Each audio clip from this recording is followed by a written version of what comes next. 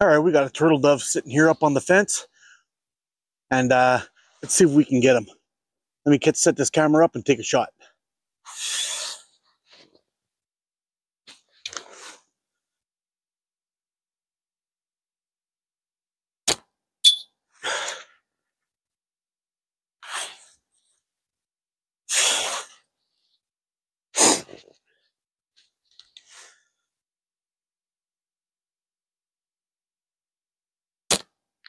Oh, there it is.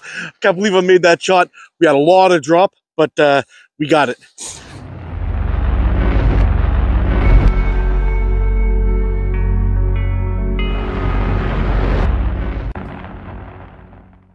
All right, guys. Today we're going to be testing out the Cygnus Bold. I've got high expectations for this one. Let's see how it performs. Oh, man. There it is just like I thought. All right, guys, we just took our first shots with the with the Cygnus Bold. Um, so far, uh, I'm pretty impressed considering we're shooting in this kind of cold and we're we're looking at uh, at around minus 16, minus 20, minus 21 of the wind chill. It's really damn cold out today, so we're getting a lot of drop off on the bands. Just need to uh, make an adjustment, but we still made some pretty damn good shots from around 22, 23 meters. We put a, uh, a good pop on that can and we put a good pop on this turtle dove here that we had sitting up on top of the fence. It was pretty nice shot. Um, unfortunately, this guy fell backwards and I couldn't hit it anymore after. But uh, anyway, then right after that, we went to about 15 meters, took a bunch of shots on the cans and hit it a bunch of times. So, um, so far the first impressions are really good. I'm going to bring you in close. Uh, we're going to take a good close up of it, take a look at the frame. We're going to do a comparison. We're going to do a, uh, uh, we're talking about the grip we're going to give the close-ups of the grip, see how, how it holds while we're shooting, see if there's any twisting or moving or sliding. And uh, we're just going to have some fun. So let me get this camera turned around. We'll take a look at the, uh, at the frame up close, and we'll talk about specs. Okay, so here's a nice close-up of the Cygnus Bold. Nice solid construction made of a very durable material, which is G10. This stuff will take an absolute beating. I guess we should just get right into the specs, but first, We've got some Falcon Yellow 0.55 on here. And uh, in this kind of cold, I should have chosen a different band, but uh, this was already set up, ready to go. All right, so I measured the overall length of this guy. From the bottom of the handle to the tip of the fork came in at 133 millimeters, or just over five inches and a quarter. All right, now the fork width on this guy from side to side comes in at 90 millimeters or 3.54 inches. We've got 23 millimeter or just over 7 eighths of an inch tips that are equipped with nice G10 clips and a fiber optic sight. And the overall weight of this guy is 137 grams or 4.8 ounces. And that's with a band set and a pouch.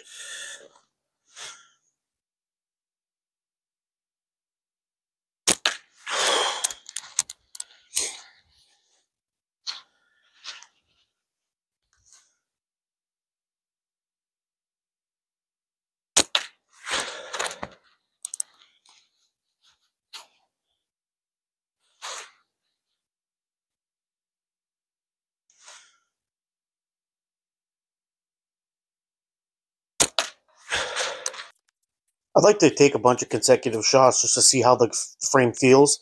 Uh, while doing this, I did happen to notice something uh, about the fiber optic sight.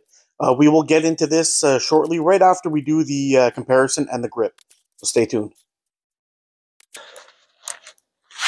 Well, that's 10 shots. Uh, very close to the bullseye or around the bullseye. I had one, one flyer so far. Frame's feeling pretty good. Uh, I'm going to take a few more shots and we'll talk about some, uh, we'll talk about the uh, grip. Well, all right then. Before we get into the grip, let's have a quick comparison of the uh, original G10 version versus the Bold version. Now, if we take a look at the forks, forks are just about the same, same width. Both of them are 90, 90 uh, millimeters. However, I, I did notice that the cup, the fork cup on the bold is slightly shallower than the uh, than the than the original.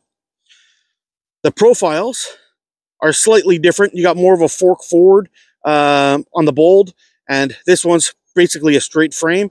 Does have a little slight uh, cutout for the finger for grip. This one has a much larger one. And when you're holding them, you'll feel the corners on these things are actually, I'm not to say sharp, but they're, uh, they're definitely more pronounced, the corners, than the smoothed out version of this one. Now, if I'm comparing the two, both of them hold really, really well. However, the Bold is more comfortable. Uh, which one is more secure? I don't know uh, what I would say about that because the uh, original Cygnus is probably one of the most secure frames I've ever shot. So let's just put let's just put this guy away for now.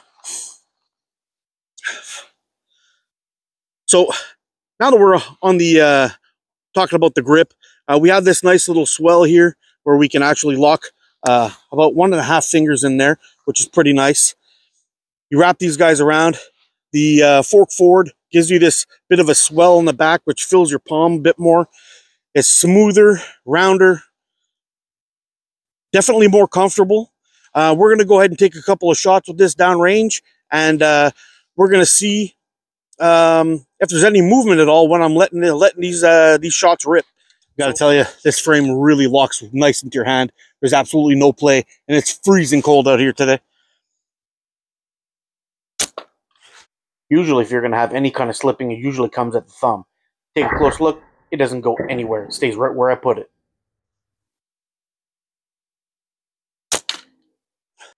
Use another angle to confirm. Doesn't go anywhere. Nothing budged. Well, I gotta say, guys, this frame holds really, really well. I think we saw from the uh, from the close-up video and the slow-mo, there was no slipping, sliding. My thumb wasn't coming off there, slipping off or anything like that. And uh, let me tell you, a good holding frame is always going to be probably one of the most accurate shooting you have in your collection. So for me, two thumbs up on the uh, Cygnus Bold hold. anyway, let's do some more shooting. Not a bad grouping, not my best shooting. Uh, there's one thing that I've noticed uh, that I, I have to mention uh, right off the bat that's a bit of a con, is this fiber optic sight. I'm going to bring you in close and show you what the deal is with this. Uh, I really, really don't like it. Uh, it's actually a little bit too big coming off the frame and it blocks my target uh, when I'm shooting. So just to be clear about what I'm talking about uh, when I'm complaining about this fiber optic sight uh, shooting at these uh, at these flippers here. So just to be clear, the top flipper in the box is an eight centimeter. The bottom one here, the white one, is a uh, six centimeter, and those three at the bottom are four centimeters. Now have a look at this. This is from 10 meters, okay? So I've got my face pretty much just behind the camera so I can see what I'm shooting at so you guys can get a real uh, look at the issue. So, you see that fiber optic sight there? Completely covers the 8, or just about. Let's go down to the 6. 6 is gone. And forget about the 4s. You won't see a damn thing.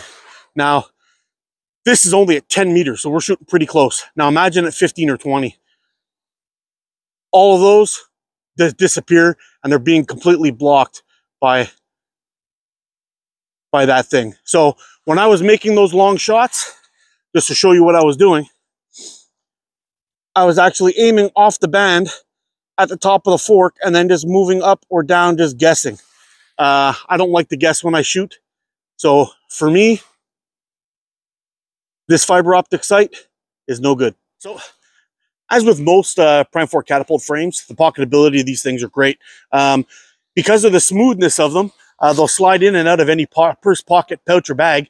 Uh, not a problem. Also, your uh, their the weight of them is uh, it's got a little bit more weight to it than some of the other frames, but it's actually still by far not too heavy to carry in your pocket or your bag. So uh, definitely two thumbs up. And you're getting a great quality, accurate shooter uh, from Prime Fork catapults. Can't really go wrong.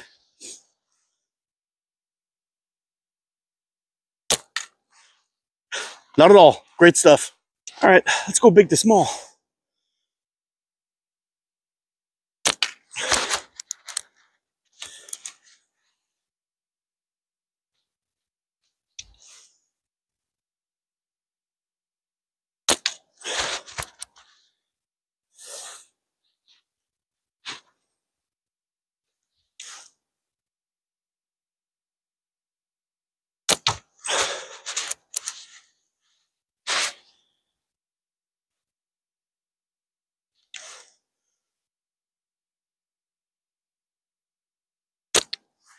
Oh, I just caught the edge of it. Let's have another go with that little white guy there.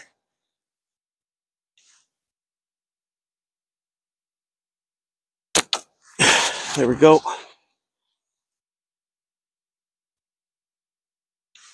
And the green one. There it is. Not bad at all. Let's have some final thoughts. All right, what can we say about this Cygnus Bold, guys? Well, first of all, the overall shooting experience was really nice. Uh, the frame was pretty intuitive. Put it into my hand, started shooting right away, and within two shots, I was on target and uh, it stayed like that for uh, for the more majority of the video, even in this kind of cold. Uh, there was a slight adjustment we needed to do with the uh, with the bands, but that's got nothing to do with the frame. Fit and finish of there is pretty nice. The comfortable, it's really really comfortable.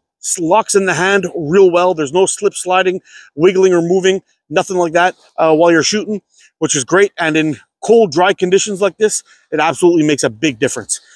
The 23 millimeter clips I really like. I tend to cut my bands at 22 millimeters, so works out perfect for me. But you could definitely squeeze a 24 on there if you needed to. So right, the pocketability of this frame is really damn good. You can slide this in any purse, pouch, pocket, or bag. Uh, not a problem. Carry it with you anywhere you want. The weight is pretty much on point. Uh, it's got a little bit of weight to it, which is nice because it helps with the recoil. And uh, It'll slide easily in and out of a pocket because of the handle design. It locks your hand in so well that even if, even though it's really smooth, it still won't slip around on you, which is pretty good. So um, that leads me to the con. So the con is this this uh, fiber optic sight. For me, that's a nope. I give that two thumbs down actually because aiming from a far distance and shooting on these uh, on any kind of flipper from a longer distance or any target, that little fiber optic sight uh, blocks whatever it is you're shooting out and it uh, really covers up your target, which is a major problem for me. I really don't like that. But um, the good thing about it is if this is a custom frame, you can have that removed and just ask for a regular clip. And if you do happen to like fiber optic sights, guys, no problem. Don't listen to a word I say. Go ahead and get it if you if you like it. If this is just my opinion. But uh, for the most part, everything else about this frame, except for those clips, in my opinion, is spot on. If you're looking for a new frame and you want to get something that's going to be uh, a pocketable, a good holding EDC slash hunting frame, uh, or target shooting, anything you want to do, this will get you going. Anyway, guys, I'm going to wrap this one up. You guys take care, stay safe, get out, practice, and be good to each other. I'll see you again soon. I love you guys. You're freaking awesome. And it's freaking cold. I'm going inside.